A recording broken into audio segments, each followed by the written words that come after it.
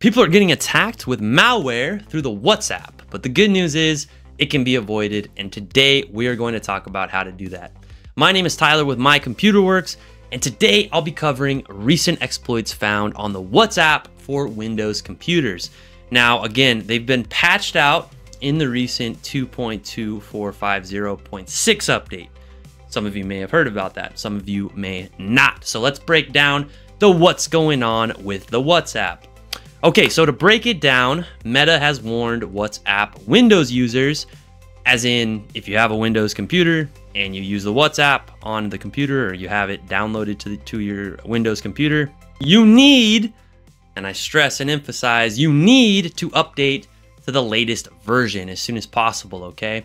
So that's going to be, again, version 2.2450.6, okay? Why? Well, because exploits have been found. That's right.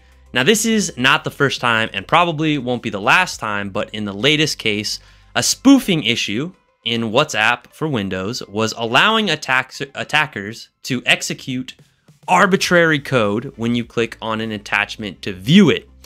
Well, what if I don't click on attachments, Tyler? Right? What if I use WhatsApp and I just don't click on attachments? Well, they also found a second exploit just a little bit ago. That was a zero click, zero day security vulnerability, okay? That was installing spyware. So this is a big issue. Big, big issue. How do we fix it? Well, it's pretty simple. Like I said, we update the app. That's all we have to do in this case, okay? So the exploits have been found and patched out. Uh, this is basically how it works in the in the cybersecurity or the security world for computers.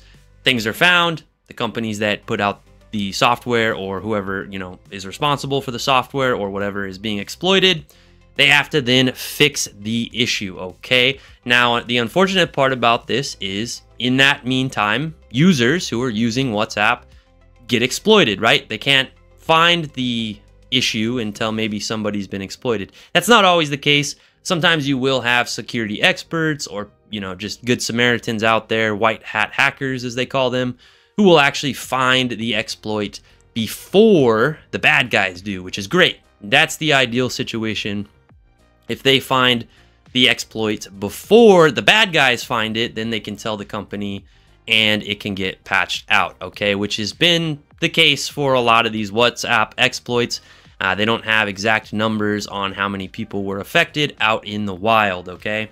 Because you may be thinking right now, well, what if I was uh, exploited by this?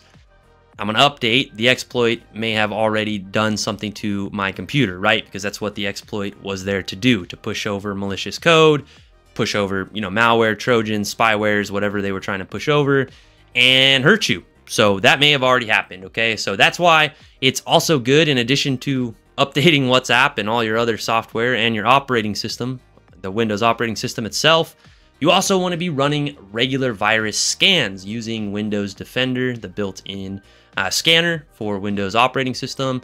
Uh, we have a video actually that talks a little bit about that. And then you can always use a third-party antivirus software like Malwarebytes, which I use occasionally for uh, spot cleaning and uh, scanning myself. You can run scans with those uh, two antiviruses on your computer, you know, if you want to do Malwarebytes or whatever your third party is, run some scans, check it out, making sure that you check for malware, trojans, and the other harmful applications that may have made their way to your computer, okay? And then a second layer of this is staying vigilant, especially with the WhatsApp.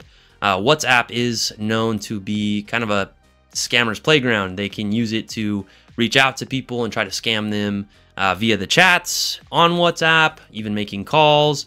Um, and then again, there's the other half of it, which is this situation where hackers were actually able to exploit security vulnerabilities, which is normal. A lot of applications out there, operating system, different things are going to have exploits and vulnerabilities.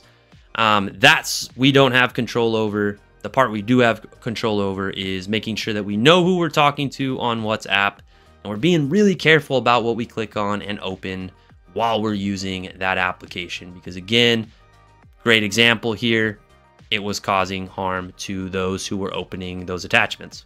Now, if you need help updating your WhatsApp, reviewing your computer security topography, or just any other general help with your technology or, you know, phone, tablet, PC, please reach out to us. The number's always at the outro, intro, outro, down in the description below. We'd be happy to help. And if you liked the video, you know what to do. Please hit that thumbs up down there.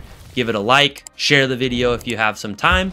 If you're new here, hit that subscribe down below so that you can keep up to date with our new content. We like to drop new info about what's going on in the security world as we did, you know, like I did today, or tips and tricks for your computer. So definitely come along with us, hit that subscribe, and I'll see everyone on the next one. Thanks for watching.